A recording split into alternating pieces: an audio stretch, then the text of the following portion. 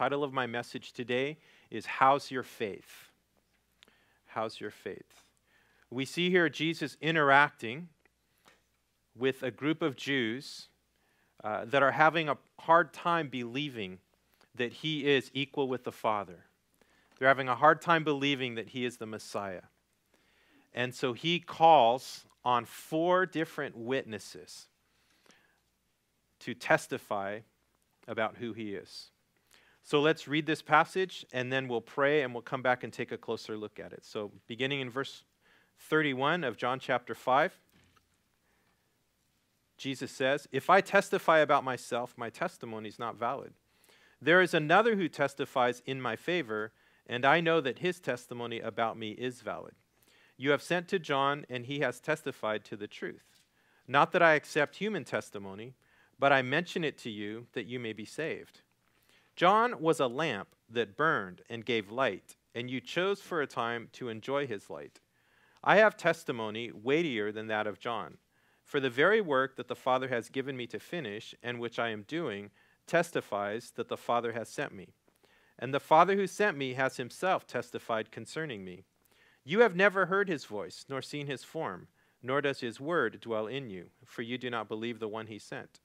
You diligently study the Scriptures because you think that by them you possess eternal life. These are the Scriptures that testify about me, yet you refuse to come to me to have life. I do not accept praise from men, but I know you. I know that you do not have the love of God in your hearts. I have come in my Father's name, and you do not accept me. But if someone else comes in his own name, you will accept him. How can you believe if you accept praise from one another? Yet make no effort to obtain the praise that comes from the only God. But do not think I will accuse you before the Father. Your accuser is Moses, on whom your hopes are set. If you believed Moses, you would believe me, for he wrote about me. But since you do not believe what he wrote, how are you going to believe what I say? Let's pray. Heavenly Father, we thank you so much for your word. We thank you, Lord, that your word is living and active, that it's sharp, that it's powerful, that it can judge our thoughts, can judge our emotions, our attitudes.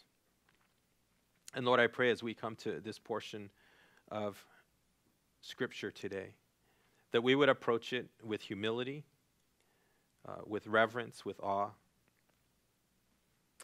Lord, that we would allow your Holy Spirit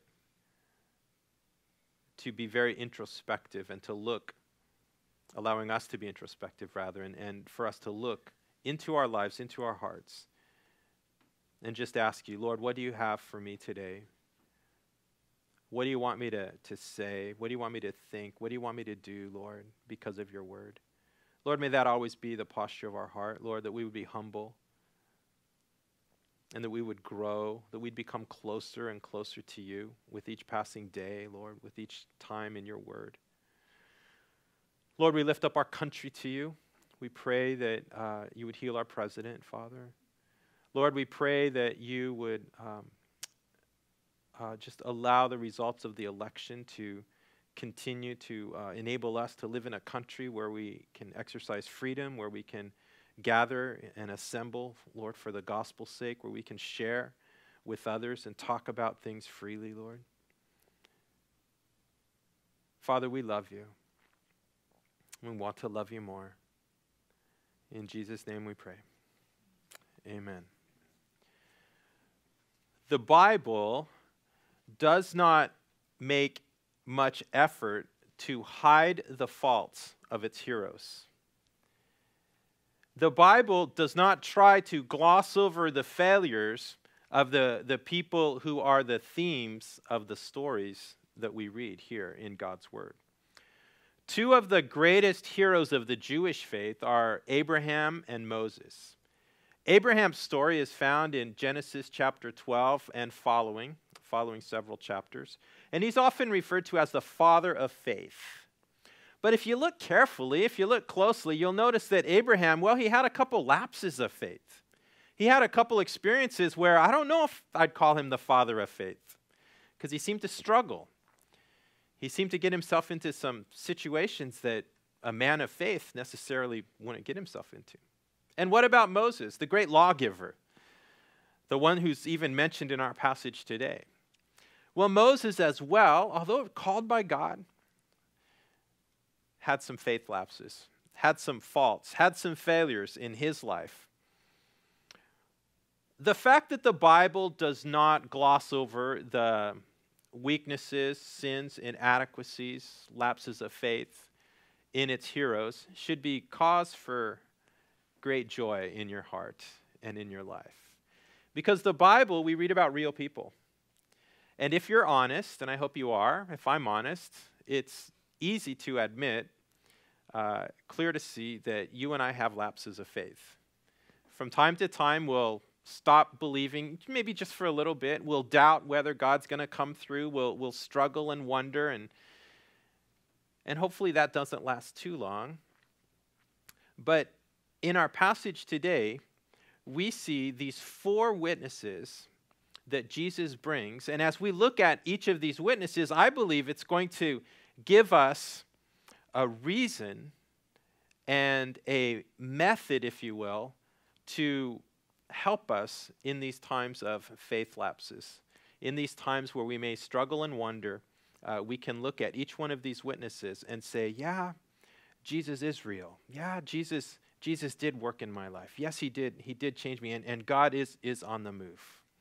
And so uh, you'll, you'll see that our passage here begins in verse 31, where Jesus just simply says, If I testify about myself, my testimony is not valid. And you might think, well, wait a minute, this is the Son of God. No matter everything he says is valid. I mean, he is, if whatever he says, whether it's about you or about himself, is going to be true. But in this particular culture, as in our culture, uh, if you're testifying about yourself, your testimony is not going to be very valid. If you're in a court of law and you stand up and you share how impeccable your character is and how awesome you are, um, and it may be true, uh, but that certainly is not going to carry the weight as if you bring four other character witnesses and they testify about your impeccable character and your degree of awesome. Now, um, in fact, in Deuteronomy chapter 17, verse 6, and this is the Jewish law, it says, On the testimony of two or three witnesses, a man shall be put to death. But no one shall be put to death on the testimony of only one witness. So obviously, I'm pulling that one sentence out of, out of the law. Obviously, there's, there's an infraction. Somebody does something that's, that's worth the death penalty. And here, God's law says, well, if one person saw it, that's not good enough. There has to be at least two, better yet, three witnesses. And the Jewish writing of the Mishnah uh, says this A man is not worthy of belief when he's speaking about himself. Or actually, maybe it says, A man is not worthy of belief when he tweets about himself or when he posts something on Facebook about himself. Or a man is not worthy of belief when he posts a picture of himself on Instagram. No, it doesn't say that. So, but then Demosthenes, the great, and I'm quoting from the Mishnah now. The Mishnah doesn't say anything about Twitter or Facebook, but Demosthenes, the great Greek orator, laid it down as a principle of justice. The laws do not allow a man to give evidence on his own behalf. So Jesus says, if I testify about myself, my testimony is not valid. Well, what has his testimony been up to this point? Well, if you go back and look at the previous 10 or 20 verses, you'll see that Jesus is talking about the fact that he's equal with God. He's talking about the fact that he is the Messiah. He's the Son of Man. He's the one who came to save the world. And, uh, and so it's almost as if he's saying, if you're not going to believe me, let me bring some people, let me call some witnesses. And so, who's the first witness that he calls? He says in verse 32, um, he says, okay, there's another. I'm going to introduce now another witness to you. And then in verse 33, we find out that it is John the Baptist, or who I'm calling the forerunner. And so with each of these witnesses, I, wanna, I want to, for us to think about, okay, if I'm, if I'm struggling in my faith, if I'm having a lapse of faith, if, if maybe I'm not really, I'm, I'm struggling with believing that God's working in my heart, that, that Jesus still loves me, you know, sometimes when you fall into sin, you can think, man, God doesn't love me anymore. Look how lousy I am.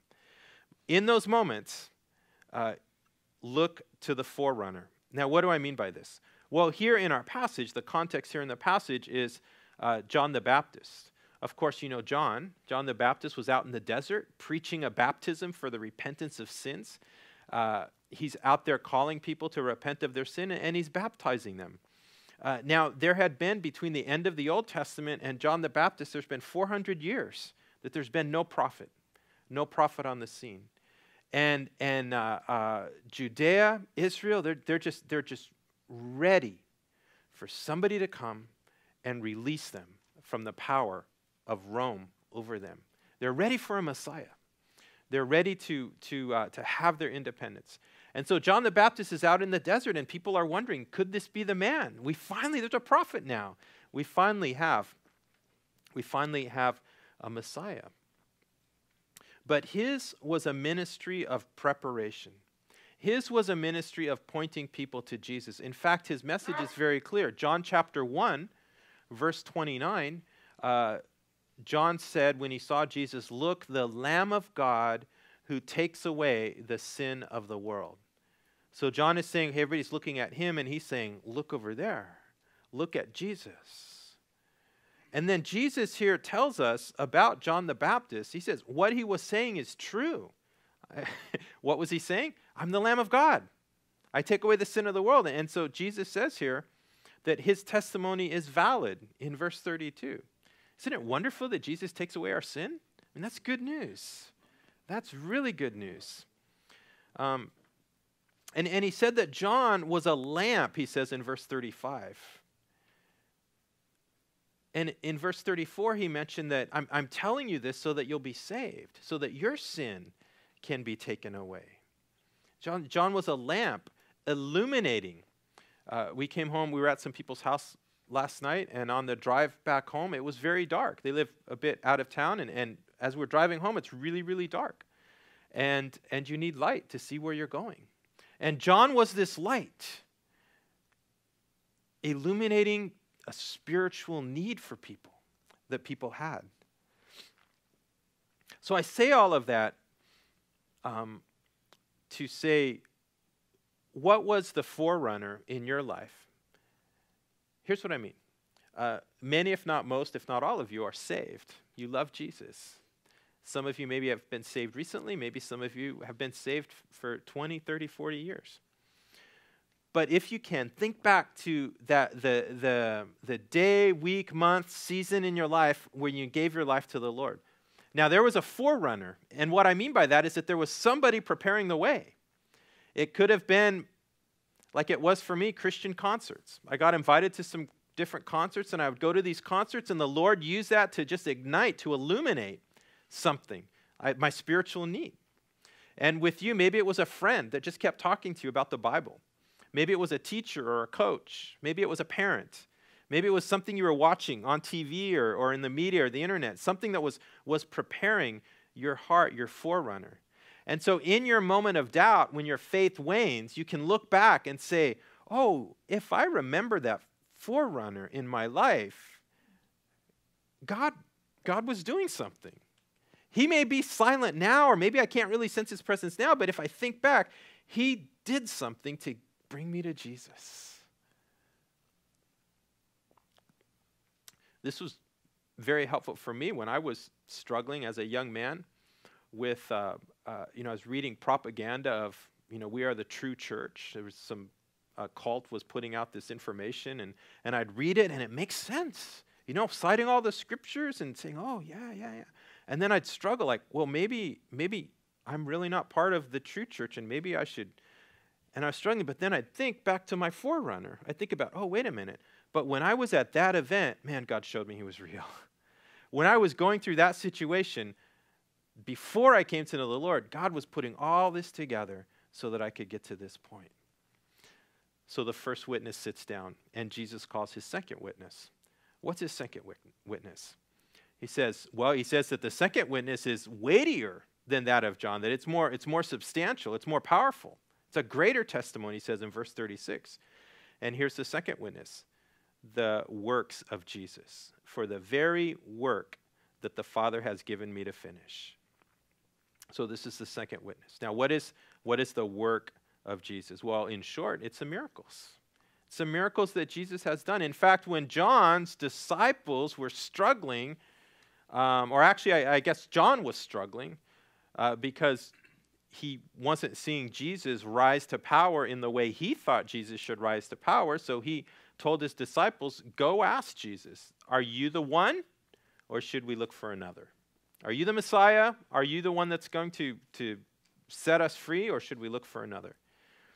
And so these disciples come to Jesus, and, and, uh, and here's Jesus' response Matthew chapter 11, verse 4. Jesus replied to them, Go and report to John what you hear and see.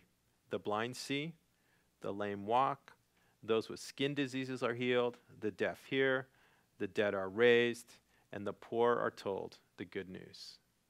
So, what does Jesus point to? He points to his works. He's done these things. Because he's done these things, his, uh, he really is the Savior of the world. Well, there's another work, another miracle that Jesus has done. And, uh, and you see that miracle every morning when you look in the mirror. Because God has done a work in your life and in your heart, if you're a Christian here today, a work of salvation, which is the greatest miracle. Don't ever, uh, don't ever think less that this is that you know your salvation, your testimony is not uh, any more significant than anybody else's. Uh, he's changed your life. I mean, there are football games on TV right now, and you are here at church. God bless you. I know you're all thinking you've got you're recording everything at home, right? You're gonna watch it this afternoon. That's okay. I am too. But here's here's the thing. Um, Jesus says here in verse 36 that the work that the Father has given me to finish, it's work of salvation. You are a work that the Father gave Jesus to finish. And if you look around, you see all of these other works. There's people watching online right now. They are works, they are miracles, they are salvation miracles. And so when you struggle with wondering about the truth, you struggle with your life, you think God's forgotten you, you, you look back and you say, Well, I wish I would have done all of this differently. Look at where I am now, and if only I would have done this, if only I would have done that. And, and you're starting to get a little down on yourself and you're starting to give up and just think, you know, I'm, I, it's just, you know, God's not as awesome as he used to be or as I thought he would. Listen, listen, listen. When that happens, when your faith wanes, look at the works that Jesus has done and think about his miracles. Think about the resurrection, but also think about your own salvation. Think about your salvation. God saved you. And I've talked to a few of you, and I know God saved you from some pretty ugly stuff. And you're here, and you're saved, and you're blessed. So that's two witnesses. So now Jesus calls to the witness stand his own Father. Look at verse 37. And the Father who sent me has himself testified concerning me. You have never heard his voice, nor seen his form, nor does his word dwell in you, for you do not believe the one he sent. So he calls to the witness stand his Father. Now, how does the Father testify about Jesus? Well, I think a, a couple ways.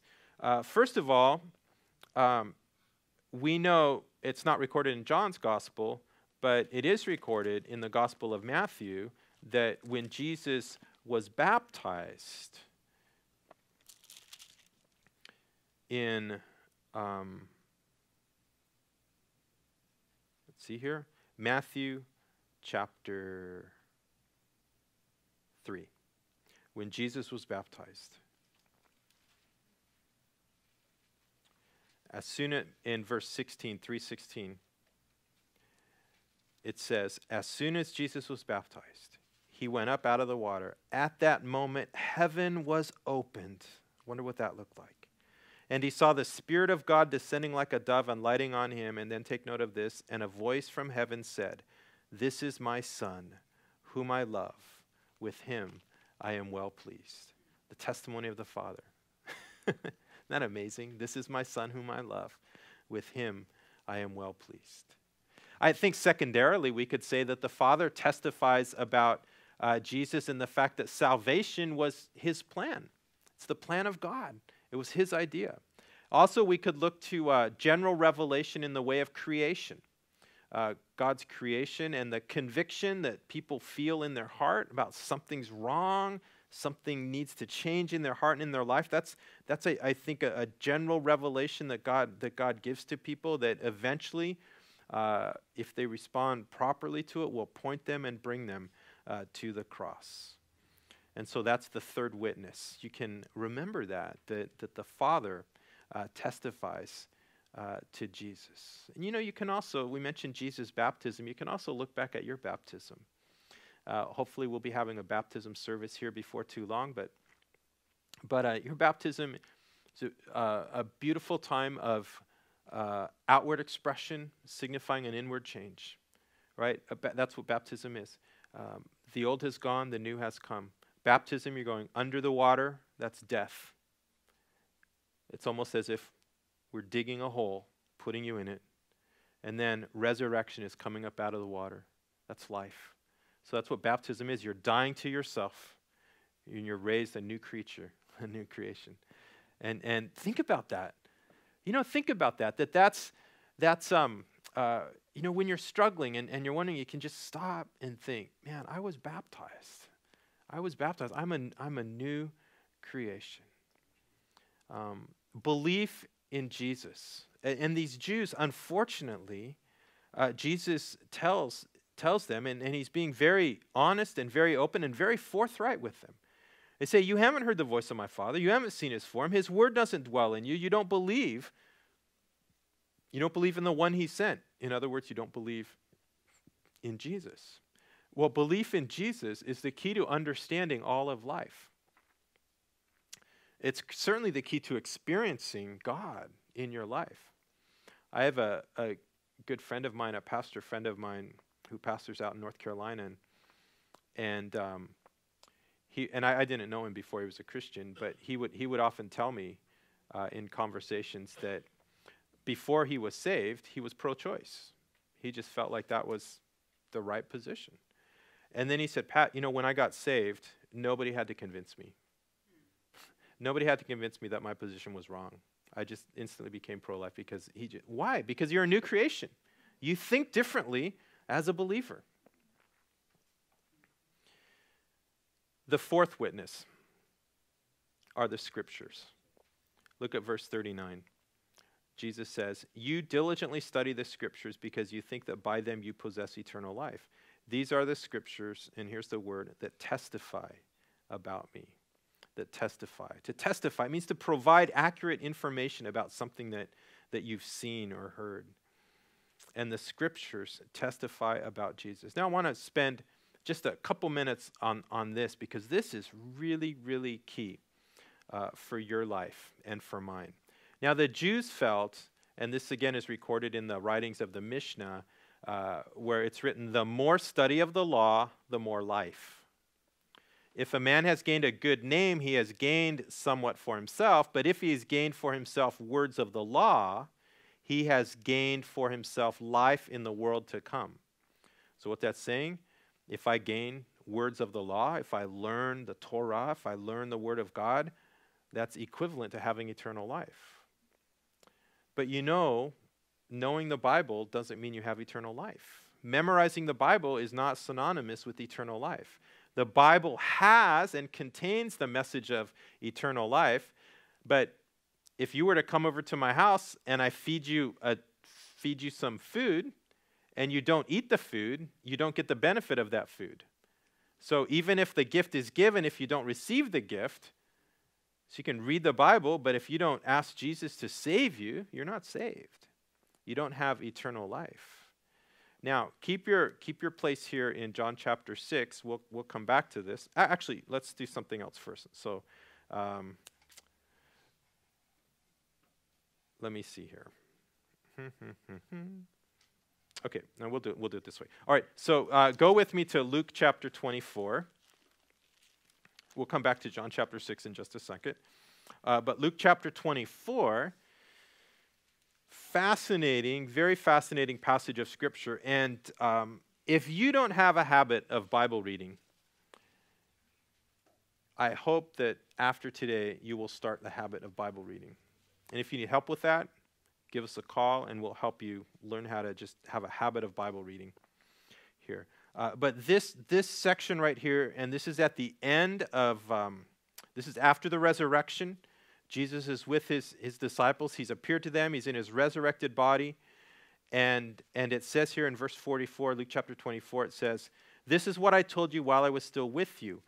Everything must be fulfilled that was written about me in the law of Moses, the prophets, and the Psalms.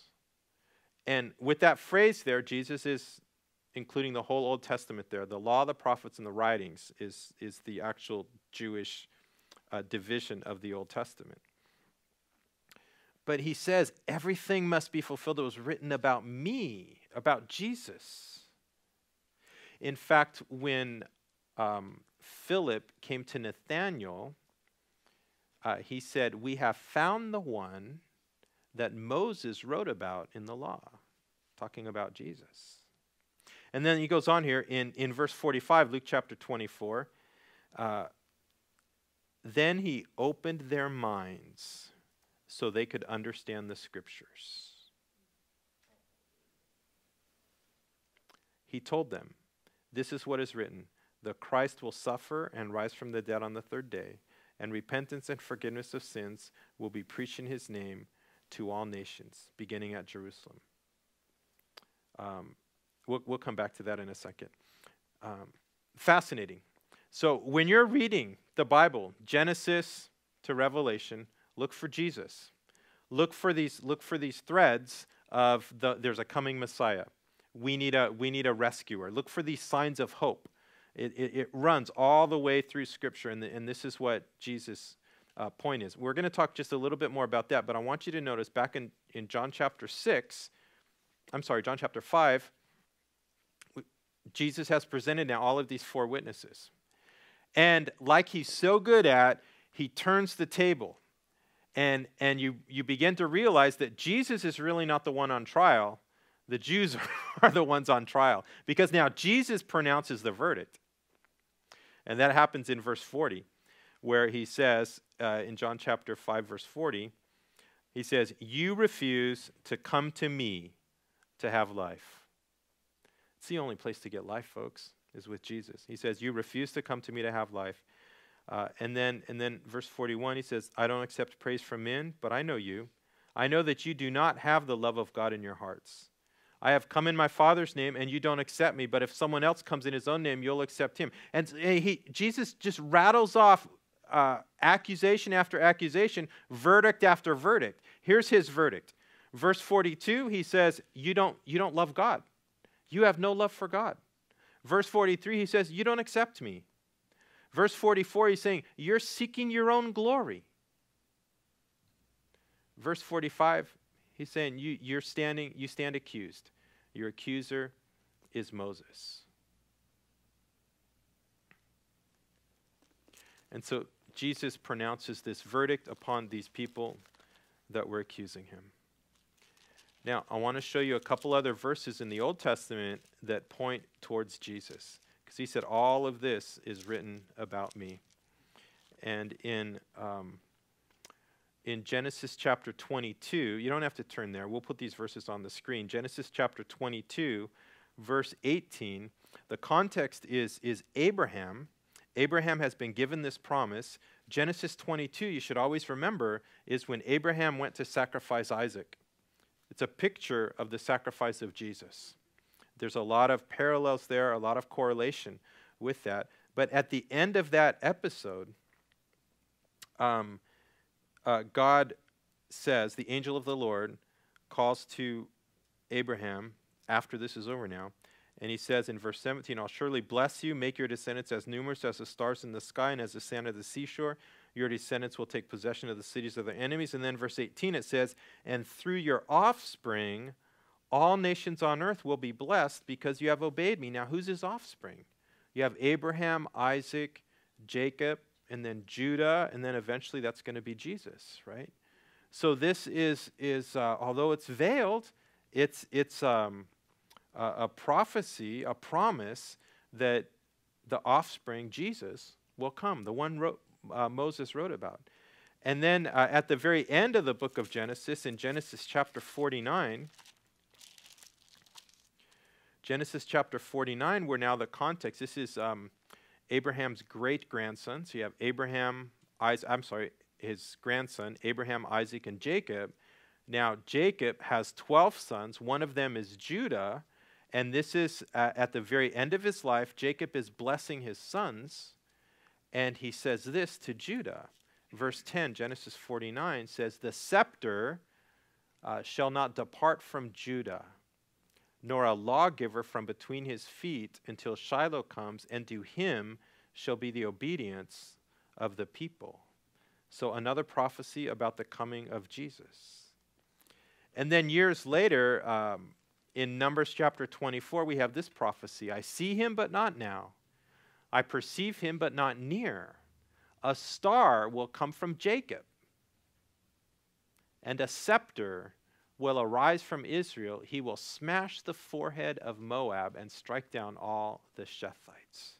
So you have, and those are just three verses, but you could, you could look through all the Old Testament and find how they speak of Jesus. And so when you read the Bible, know that this is, this is the story, this is the narrative that God's writing um, about this Messiah that's coming. And so now meet Jesus, the God man, here in, in John's gospel, where we are actually seeing the fulfillment of all of this prophecy. And if you want more information about all of this, I encourage you to go to our YouTube channel. On Wednesday night, I'm going through a series called God Wrote a Book. And so we look at some of these themes through, through all of the books uh, in, in the Bible. We're up to, we just finished the book of Ruth. Um, so you can, you can uh, check those out if you are interested. Well, so we talked about four witnesses. You remember what they are? We have the forerunner, John the Baptist. We have the works of Jesus. We have the Father. And we have Scripture. So one more witness I want to talk to you about. And uh, hopefully you still have your place in, uh, in Luke chapter 24, um, which, which we read, where Jesus opens their minds. He shows in the Old Testament how the whole Old Testament is written about him he opens their minds so they can understand the scriptures. Then he, he, he talks about his death, resurrection, repentance, forgiveness. I mean, this is the gospel right here. Uh, going to be preached to all nations, beginning at Jerusalem. And then look at verse 48. This is the fifth witness. Who is it? You are witnesses of these things. It's you. It's us. We are witnesses. We are, we are witnesses of what Jesus has done. And, uh, and so I have found that when you have these lapses of faith, when, when, you, when you feel like giving up, giving in, nobody knows the trouble I've seen, you know, when you, when you have these moments that we all have, one of the best things to do is to do something. To, to show up early on a Wednesday morning and help distribute food you know, to go uh, minister to somebody, to call somebody and pray with them, to be active, to go be a witness. Because sometimes it, we, we look within and we get so depressed. We look around and we get even more depressed. But we have to look up. We have to look at Jesus. And we'll be inspired, we'll be impressed, as I think Jon Courson says. And, and so, so in the moments when you're struggling, just go do something for the Lord. You know, call up the church and say, hey, I'd like to volunteer for children's ministry. Or, or I'd like to, to, to come and, and help in some way. Put feet to your faith, in other words. Just go do something for the Lord. And then you'll find that, that God will just use that in your life. You know, to encourage, not, not just to encourage you and to get you out of the, the quagmire that, that you're in, and I hope nobody's hearing condemnation here because th- these are things we all go through. Uh, but we're in Christ, and the Lord brings us out of this. So I want to encourage you. I want to encourage you in that. Um, now, with all of this in mind, we come to the communion table. Leaving John's gospel, flip just a few pages to the right after the book of Romans, after Acts and Romans, and you'll come to uh, 1st and 2nd Corinthians. And in um, in 1 Corinthians chapter 11, there's a section there where Paul talks about the Lord's Supper, talks about communion. And of course, Jesus that we just saw, he was he was talking about how I'm equal with the Father. I'm doing these miracles. I've come to save. I'm the Messiah, the Savior. Well, what does that mean? Well, that means that eventually he ended up on a cross, which is how they um, killed criminals that were that had done something wrong. Obviously, that had excuse me, that had committed an offense. Isaiah chapter 52 is very clear that God's wrath was laid upon Jesus. God judged Jesus for not for his sin, but for our sin. Now, we're not going to confess our sin publicly here, but I'm sure if we went around, it wouldn't take any of us very long to think about something that you've done wrong. Maybe it's a thought, maybe it's greed, maybe it's selfishness, maybe it's hatred, maybe it's you know looking at stuff you shouldn't look at, going to websites you shouldn't visit. It, it could be a, a host of other things. Jesus died on the cross. And, and those things are wrong. They're vile. They're evil. And they have to be punished for righteousness' sake. In other words, we, we can't get to heaven as sinful creatures. We can't have a perfect paradise with the Lord if we're corrupted to the core. Am I right? So here's the thing Jesus died on the cross. The reason he died is, as Isaiah 52 tells us, says he was stricken, which is an old English archaic word, but it means he was struck. He was, um, the punishment that brought us peace was laid upon him. Um, says that God let me, let me read it because it's, um, it's very profound.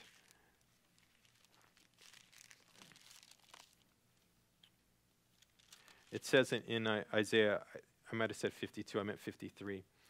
Um, it says, He took up our infirmities, He carried our sorrows. We considered Him stricken by God, smitten by Him, and afflicted. He was pierced for our transgressions he was crushed for our iniquities. The punishment that brought us peace was upon him, and by his wounds we are healed. This is holy ground. This is so profound and so deep. The fact that, that I'm looking out and I, I see all of you, and all of you watching online, all of your sin was laid upon Jesus. You remember, he, he hung on the cross. And, and these words, they, they are just, they're so deep. You can, you can just spend time meditating upon this. My God, my God, why have you forsaken me? Jesus knew what it was like to be forsaken by God. It wasn't a lapse of faith. It was the punishment of sin that was laid upon him. It was for your lapse of faith and my lapse of faith. What was it like for Jesus, God and very God, to have the Father turn his back so that all of the sin would be laid upon Jesus? This is profound. Did you ever realize that? Jesus knew what it was like to be separated from God so that we wouldn't have to be. And so, as in just a, a minute, uh, Jake and worship uh, team is going to come, and you're going to have an opportunity to come up and get uh, the cracker and the juice together. The cracker on the bottom, the juice on top there. So just grab one cup. And and this is a covenant that we have with God. As First Corinthians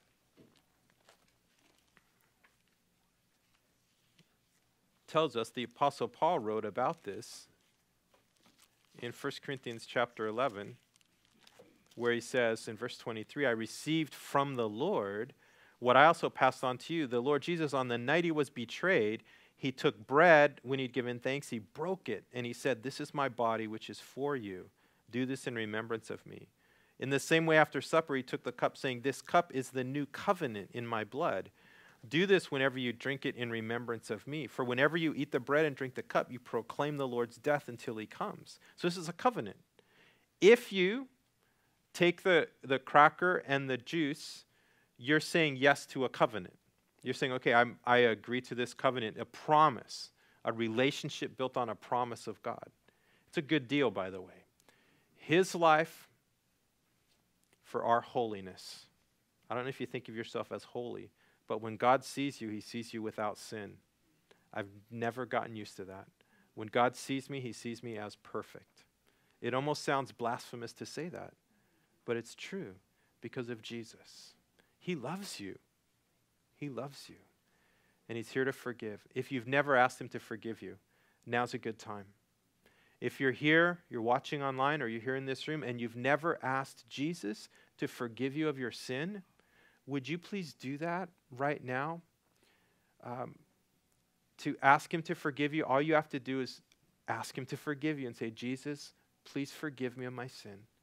I believe in you. I trust in you. This makes sense. And I don't really understand the implications of everything I'm doing, but I just want to be forgiven of my sin. And if you do that, 100% he'll say yes because he loves you and he died on the cross for you. His blood was shed for you. He has a plan for you. So um, they're going to play a song about Jesus, and you come up and you get bread and juice and uh, even if you're not a Christian here, if you ask Him to save you and just say a prayer, either right now or as you come up and sit down, or just, I mean, this is for everyone as long as you ask Jesus to save you, repent of your sin, and come to the cross. Lord, your word says that a man ought to examine himself before he eats of the bread and drinks of the cup. And so we just take a moment and we think about our own heart, our own life. And Lord, if there's anything going on in any one of us that displeases you, God, I pray you'd bring it to our mind right now. We would confess it and repent and freely receive your grace. Lord, we love you. We love you very much, Lord. And, and we are just so, so indebted to you, Lord. You deserve our entire life, Lord, and we give it to you. This bread represents his body that was broken for you. Let's all take of the bread.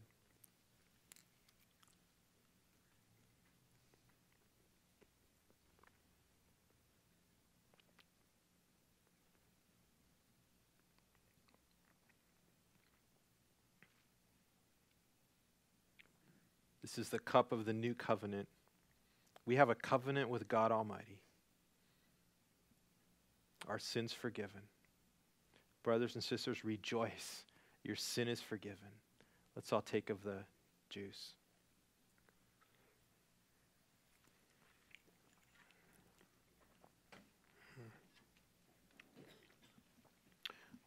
Let's all stand. Uh, we're going to close in a song. And if you need prayer, there'll be people available to pray for you after the service.